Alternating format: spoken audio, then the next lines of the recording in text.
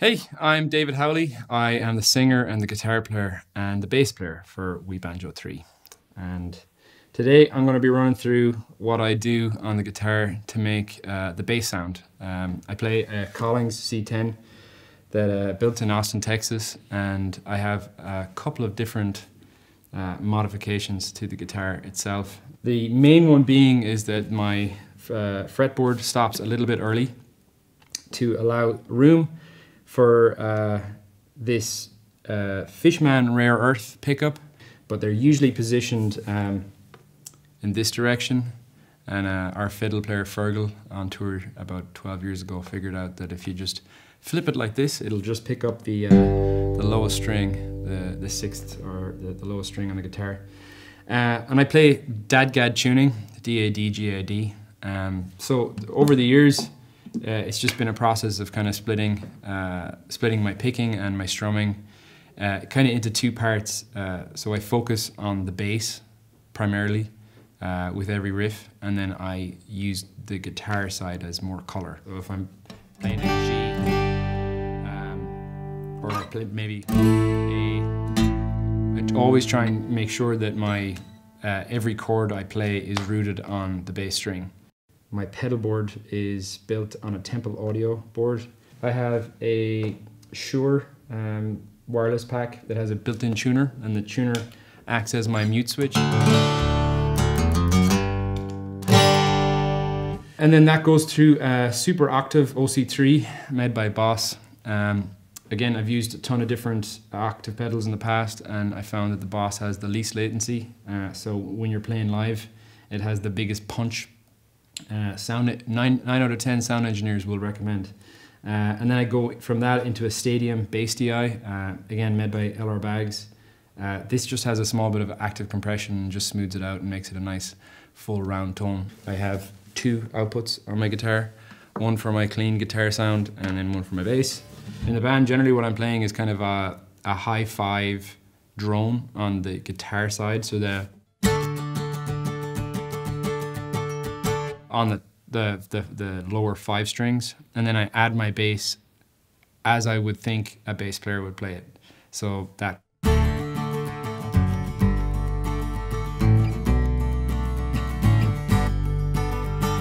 Uh, and then that works for a number of different tunings, and but generally, uh, DADGAD seems to be, for what I've found, the easiest way to get the sound.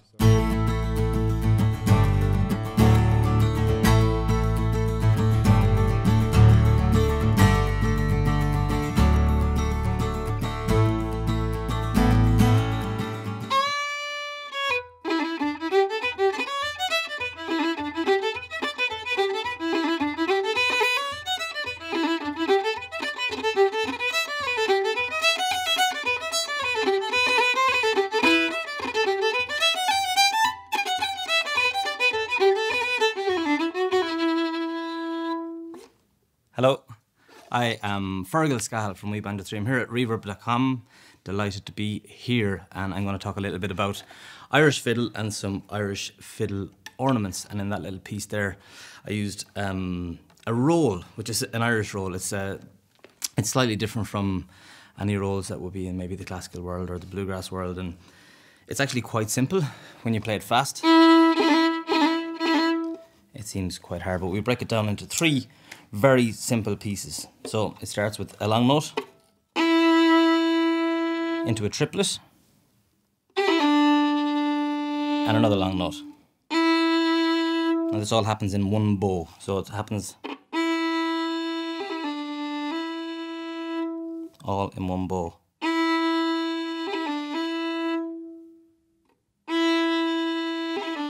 So this is the first finger roll. And you, you have a choice then where you can use either your second finger to, to, to do the triplet, or I like the third finger because you get more of a, a smack on it. You get more sort of a, more attack. It's actually a really simple roll. Works on all fingers. That's the Irish roll. It's as easy as that.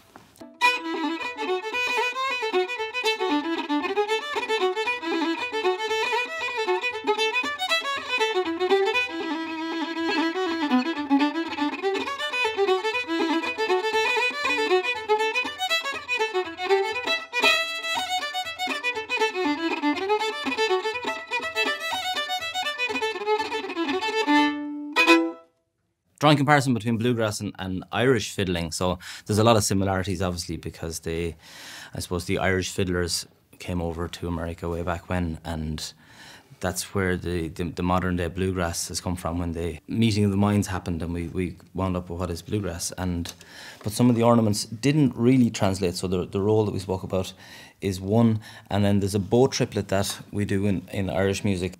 It doesn't really happen in bluegrass as much uh, it's a very tight short triplet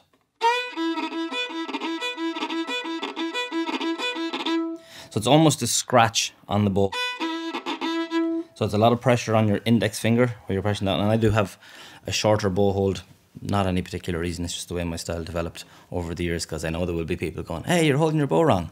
So I just, I, I choose to hold it this way, right? so the bow, the bow triplet is, is very tight, very much in the fingers, in the hand. It's not quite three notes. So it's, it's, it's actually quite hard to slow down because as soon as you slow it down, you get into a tight sort of a more classical triplet, whereas it's it's like um, a cran or something.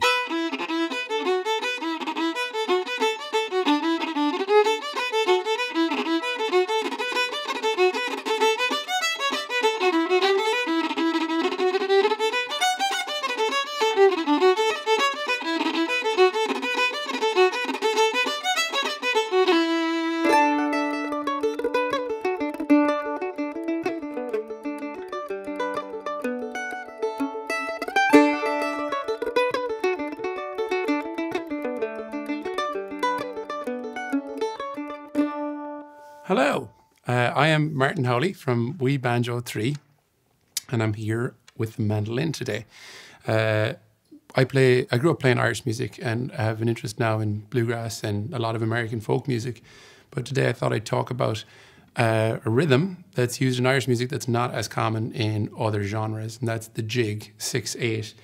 Uh, so the meter's different, and then as you use it on the instrument, it's quite different. So, uh, firstly, the mandolin in Irish music Irish music's a dance music, and and uh, the mandolin serves as part of the rhythm section almost to nail down uh, that subdivision. So in in that way, the alternate picking method that you use is a down up down stroke. So down up down down up down down up down down up down. So there's like a repeat down together, and that creates the jig rhythm. So slowly, that sounds something like.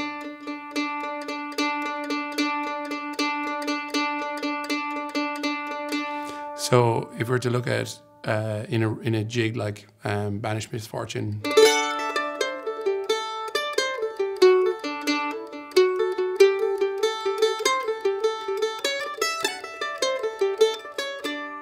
You're creating that steady, driving, pulsing rhythm that's so synonymous with Irish music by your method of picking. And of course, then Irish music, as many of you know, uh, doesn't tend to follow a strict uniform rhythmic pattern. It tends to have pushes and pulls and swing that's naturally inherent within it. Um, and so maybe I could demonstrate some of that and the techniques that get you there. Uh, so when we're playing a tune like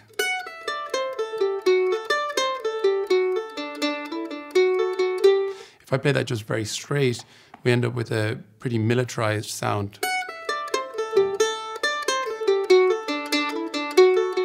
So to add some swing to it, I'm over accenting the first note in a series of six and then under accenting the next emphasis downbeat, say the four. Uh, so that sounds something like.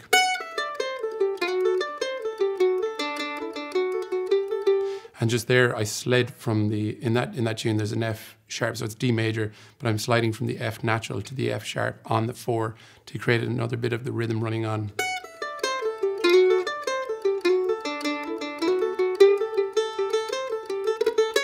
And then at the end of that phrase, there was a, a long note.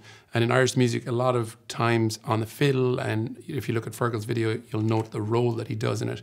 Um, the fiddle, the accordion, and the flute would have been primarily the instruments of Irish dance music. So, to when the mandolin and the banjo came into the family, they learned a technique called the treble to fit in rhythmically with those long notes. So, when there's a long note like that, we often use a treble to cover the long note. So.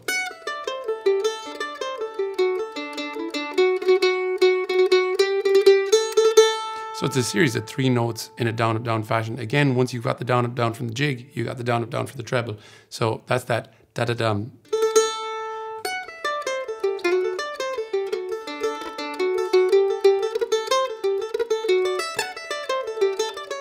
And the last little technique there that I could quickly show is that there's a little pull off. So that's where I'm fretting an F sharp with my finger. I mean, guitarists and banjoists out there will all be familiar with this technique. It's used a lot in other music. Um, that I'm pulling with the uh, ring finger using the A. So I'm going. So as I pick, I'm pulling with this finger simultaneously, and that's creating that sound. Uh, so all of that put together in a jig um, sounds something like this.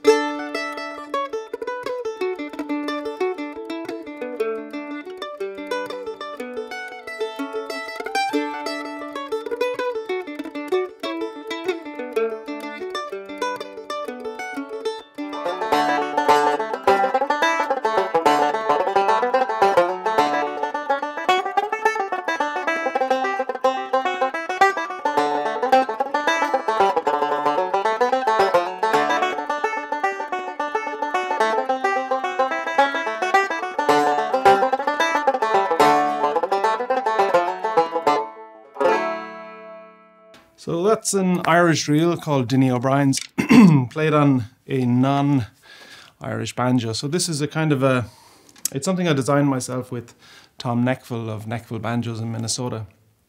And it's very different from your standard Irish tenor banjo. Um, and the reason is because the music that we play with We Banjo 3 is more influenced by Americana and bluegrass and old time music. And so your standard Irish banjo is very, very bright, and Irish music is very rhythmical and very rhythm driven. And so the music that you would normally play on, on, a, on a banjo in Irish music would be. Um, I guess very percussive and you know really leading the leading the melody and leading the rhythm. What I found is that the work that we were doing at We Banjo Three, that I was very much adapting my style to fit in with more songs, to sound a little bit more like a clawhammer uh, kind of five string uh, banjo sound, and that I couldn't do that as effectively on an Irish tenor. So I went to Tom Nechville and I said, I need something that basically plays like an Irish tenor banjo but sounds more like something like uh, Rhiannon Giddens and Béla Fleck had a baby, or their banjos had babies. And so we came up with this. So it's I mean, the pot end of it is basically an Irish tenor banjo size, but then the neck is a five string banjo. It's tuned down a tone from where Irish banjo would normally be tuned. But then because the fret size gets so big, uh, I have it capoed, or as you Americans like to say, capoed, up to uh, fret two. And that's just so you can physically play it without having to grow my fingers uh, an extra inch. Um, the longer neck gives the resonance that you don't normally get with an Irish tenor banjo. And that allows for me to.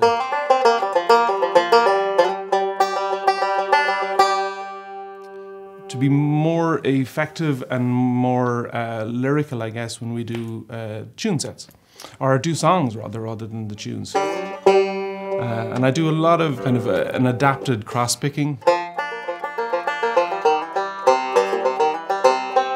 which is to emulate uh, what a clawhammer banjo would sound like.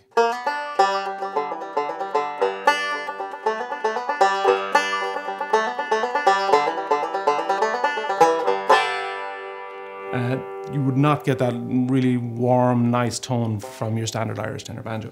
Uh, so this one is pretty unique. It's got a radius neck, uh, which is kind of funny because I didn't know that uh, for the first year that I had it. And so I was using regular capos and then discovered that you need a radius capo. It's a very unusual build um, in that there's no metal. So very, very different from your standard Irish or even your standard bluegrass banjo. Uh, and it looks like the inside of a MacBook Pro. Um, so it's got a ball bearing tone ring which can be adjusted. I think Tom calls it the cyclotronic uh, tone ring, which sounds very, very fancy. Um, so basically, the head is tightened by twisting this, which rotates on the ball bearing. So it means that when you're on the road and you go to 6,000 feet and the head gets as tight as a drum, you can release it in a matter of seconds. And then the same is true when you go back to down to colossal humidity of Tennessee in the middle of July, you can tighten it up as needs be. It currently it has three pickups in it because I'm a banjo player and you know where we fall down in the technique we try and accommodate it with uh, too much technology. Uh, but I'm currently just using one, which is the uh, Fishman Rare Earth. It also does have a humbucker and a piezo, neither of which I'm using at the moment. It's a synthetic skin head, which again kind of just gives more of that nice uh, round tone that you wouldn't normally get. And when I built it and designed it with Tom, the one thing I said I didn't want was any bling because I got so tired of mother of toilet seat and gold plated banjos. And then he texts me, he says, What about the inlay? And I said, uh, I don't mind black. And he goes, I have some turquoise.